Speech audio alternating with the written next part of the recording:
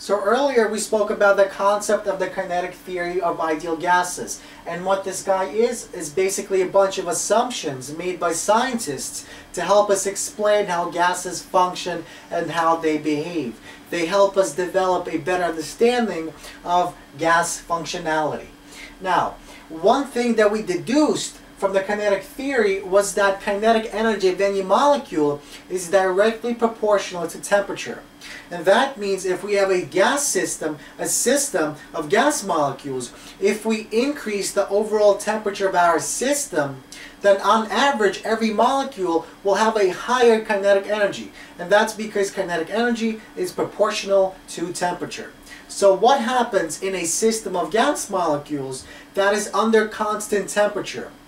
Well then on average, the kinetic energy of any gas molecule, say gas molecule 1, is the same as the kinetic energy of gas molecule number 2.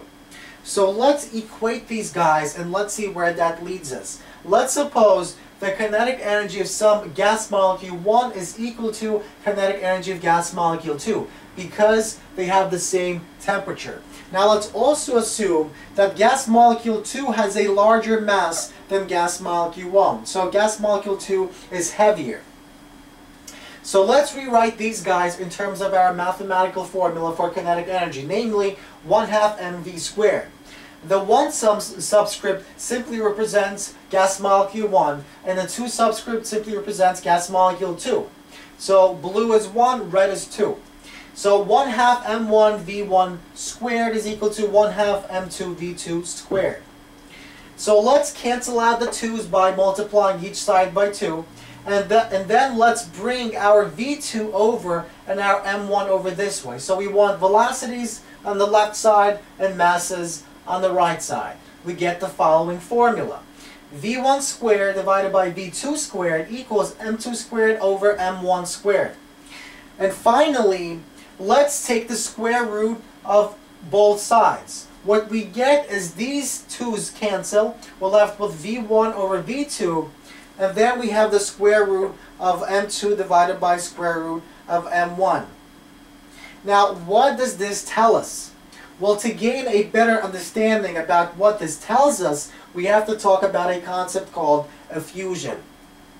But before we talk about, about that, notice that velocity 1 will, will be greater if m1 is smaller. And likewise, velocity 2 will be greater if m2 is smaller.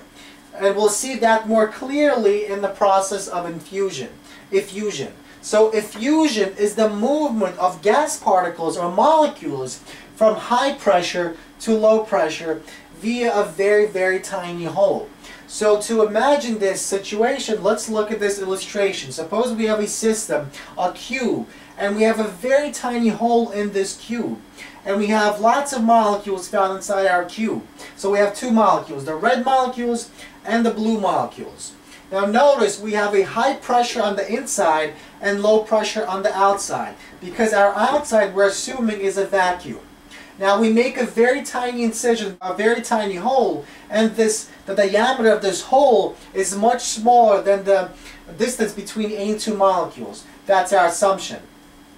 So eventually some of these molecules will hit the walls of the container. And at any given time, some of these molecules will hit the wall at exactly the spot where this hole is. And they will exit or escape the cube. What this formula tells us is that the higher your velocity is, the more likely that you will collide with the wall at this position, at this point in time, and the more likely you will escape into the vacuum. So we can rewrite these velocities as rates. So the rate of effusion for gas 1 divided by the rate of effusion for gas 2 is equal to the square root of mass 1 divided by the square root of mass 2. And what this uh, equation tells us, which is by the way Graham's equation or Graham's law, is that the, the heavier the molecule is, the smaller its speed and therefore the smaller its rate. And our individual proportion is the following. Rate is directly proportional to 1 over square root of mass. In other words, if our m is larger, then the denominator becomes larger, and so our fraction becomes smaller, and so this guy is smaller. Likewise, if, if m is smaller, if it's less heavier, then this fraction becomes smaller, and 1 over a smaller number is a larger number. And that means our rate is larger. In other words, the higher the speed, the more likely you will collide with the walls, the more likely you will exit the cell. And the only way that your speed will be higher in this equation is if your mass is smaller. So lighter particles tend to effuse quicker than heavier particles.